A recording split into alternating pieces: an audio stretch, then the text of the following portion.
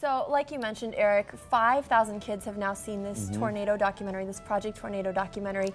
Uh, but this is our chance to kind of show everybody what all these kids have been learning. Yeah, it takes a lot of work to go out to all of these schools, and it's important that more and more people actually get the right information. So we wanted to share a little bit of the video uh, with you this morning um, to just kind of show you, you know, how we get kids i- excited about weather and severe weather safety. And the video is very eye opening. We have it for you here now in its entirety Project Tornado 2012. Take a look.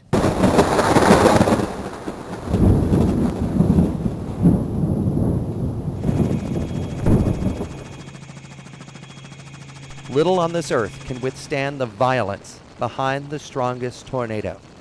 A vortex of air and debris swirling faster than the fastest race car. Today, we are learning more about how tornadoes form in the hopes of predicting these killer storms. Tornadoes can create significant swaths of destruction in just seconds. Those caught in its path are faced with a life or death situation. Oh my god, this is not good. There is no way to prevent tornadoes from happening. When all of the conditions come together, they are inevitable. Tornadoes have touched down on every continent except Antarctica. None of us expect to live there for the rest of our lives, so it's important to do everything now to increase our chance for survival the next time one hits. In order to study these powerful storms, let's go back to 1967 when one of our towns was hit by a tornado, Belvidere. The tornado formed over Cherry Valley and raced east. By the time it reached Belvidere, it was an F4, one of the strongest possible. No one was ready for a tornado of this magnitude, and 24 people died. August 28, 1990, is a date the people of Plainfield, Illinois won't forget. An F5 tornado struck the town with little advanced warning. Fortunately, tornadoes like these are rare because the only way to survive them is to be below ground. You may remember January 7th, 2008, not for a snowstorm, but for a tornado. A winter tornado formed just east of Loves Park and leveled homes around Edwards Apple Orchard in Poplar Grove. This tornado was caught on tape as it met a Union Pacific freight train head on.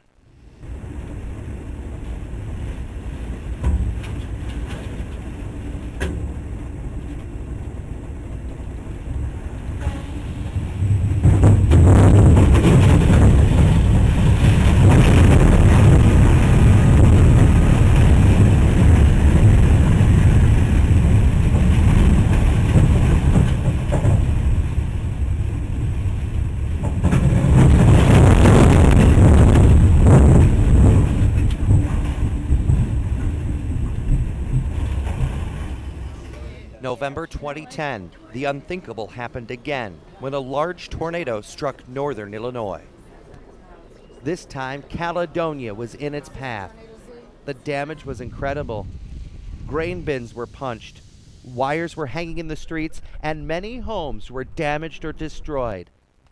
Thankfully, the Poplar Grove tornado a year earlier taught people to expect tornadoes any time of the year, and no one lost their lives.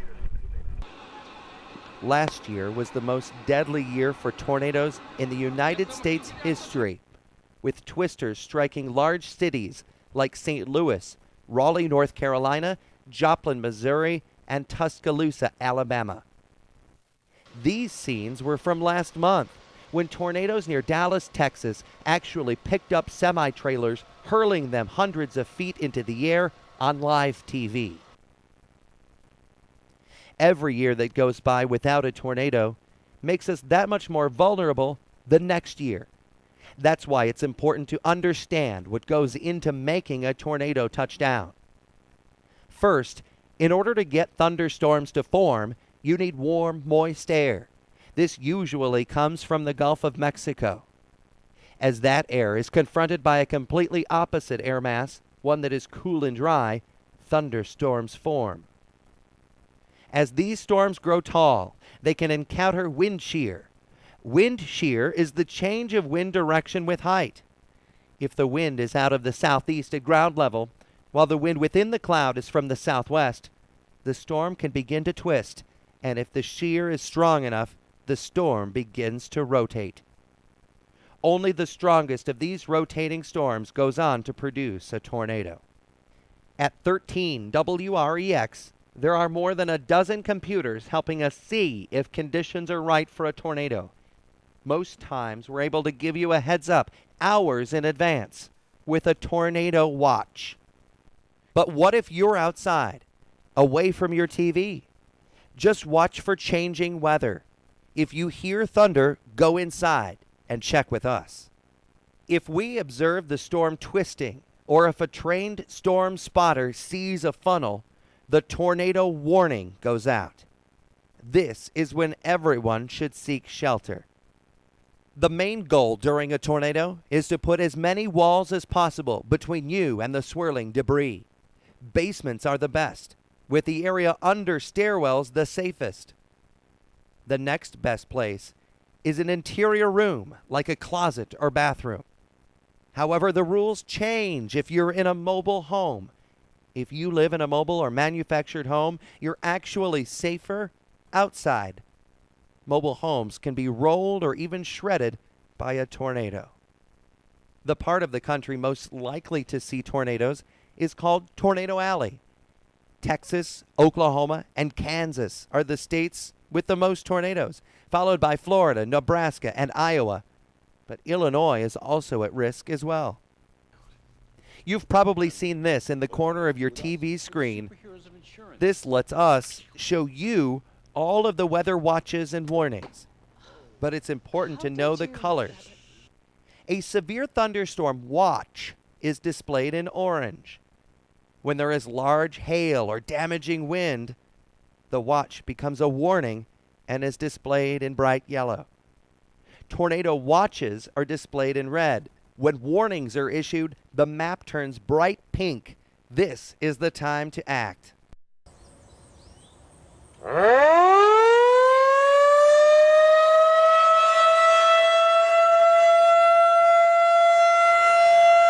Most counties have outdoor tornado sirens. Hearing their loud wail assures everyone outside can get the warning. If the skies are dark and you hear that sound, seek shelter immediately. It is important everyone is safe during a tornado emergency.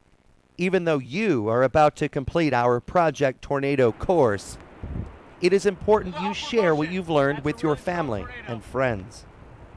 Coming up with a plan during a tornado won't do anyone any good. Plan now. And rest assured, the 13 Weather Authority will be watching and waiting for the next tornado to touch down. Will you be ready for it?